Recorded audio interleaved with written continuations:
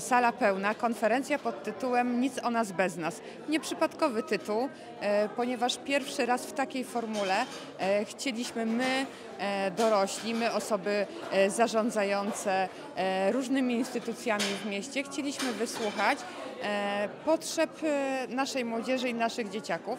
Ja powiem tak, jestem pełna emocji e, i wielokrotnie miałam tu dzisiaj ciary na tej konferencji. E, Niesamowite filmy nagrane przez dzieciaków mówiące o tym, e, jakie emocje w nich siedzą. E, Niesamowicie otwarte i odważne pytania do panelistów ze strony młodzieży. E, Oczywiście nie bezkrytyczne, bo oberwało się i pedagogom szkolnym, oberwało się rodzicom, e, oberwało się rówieśnikom. Natomiast bardzo, bardzo poważna e, i potrzebna e, debata i mam nadzieję, że to jest początek takiej debaty, e, którą będziemy kontynuować. Konferencje są potrzebne. Porozmawialiśmy o zdrowiu psychicznym i to jest bardzo dobra inicjatywa. Jednakże oprócz samej rozmowy potrzebujemy też działań.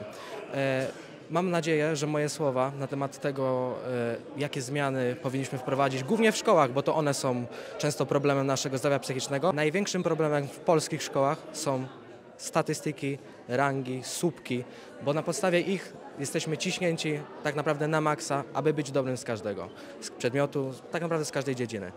Prostym przykładem jest to, żaden nauczyciel w szkole nie jest ekspertem ze wszystkiego. Dlatego uczniowie również nie powinni być ciśnięci ze wszystkiego. Powinni rozwijać się w tych dziedzinach, które lubią i to dałoby im o wiele większy komfort psychiczny.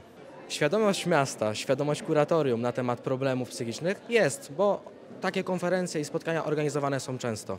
Jednakże oprócz tej świadomości potrzebujemy też działań. I to z działań skutecznych, wymierzonych i skierowanych prosto do ludzi młodych. To jest oczywiście bardzo ważna inicjatywa, ponieważ e, pozwala nam na to, żebyśmy przekazali e, informacje odnośnie zdrowia psychicznego, tego, co się dzieje w mieście, na temat zdrowia psychicznego całej młodzieży, wszystkim e, uczestnikom, różnym szkołom.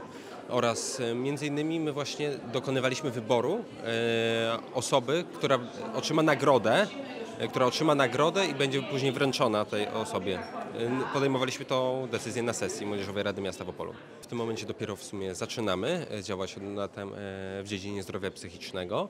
E, Dlatego jeszcze nie mamy ściśle ok- określonych planów, bo czeka nas na pewno bardzo długa droga, ale na pewno podejmiemy wkrótce jakieś uchwały, jakieś inicjatywy, rozpoczniemy jakieś projekty odnośnie zdrowia psychicznego. E, Na początku października było podobne wydarzenie, też w sumie w tej sali.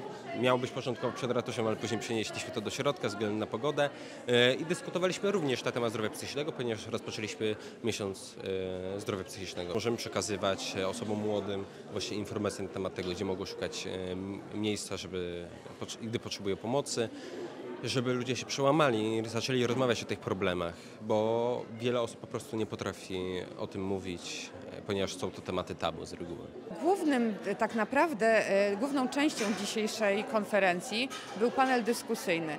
Panel, e, w którym zasiedli e, pedagodzy, psycholodzy, przedstawiciele organizacji, ale przedstawiciele urzędu, e, instytucji miejskich i trochę byliśmy odpytywani przez młodzież z tego, co robimy, co możemy dla nich zrobić. Padały też pytania, dlaczego pewne rzeczy nie działają, dlaczego w szkołach się dzieje tak, a nie inaczej. Była z nami pani kurator oświaty. Myślę sobie, że to były trudne pytania. Nierzadko trudno było nam na nie odpowiedzieć, bo my też nie znamy odpowiedzi na wszystkie pytania. Natomiast staraliśmy się e, pokazać młodzieży, że problemy, z którymi się spotykają, e, są i będą bo całe życie nasze składa się z problemów i kwestia tego, żeby nauczyć młodsze pokolenie, naszą młodzież radzenia sobie z emocjami, ze stresem e, i z tymi problemami, na które napotkają w swoim życiu. Jako miasto tak naprawdę działamy cały rok, natomiast mamy szczególny miesiąc. Jutro obchodzimy Światowy Dzień Zdrowia Psychicznego i kończymy miesiąc e, kampanii dotyczącej zdrowia psychicznego. Mamy w mieście nasz poradnik zdrowia psychicznego, gdzie znajdziemy informacje, gdzie możemy uzyskać pomoc, jaką pomoc.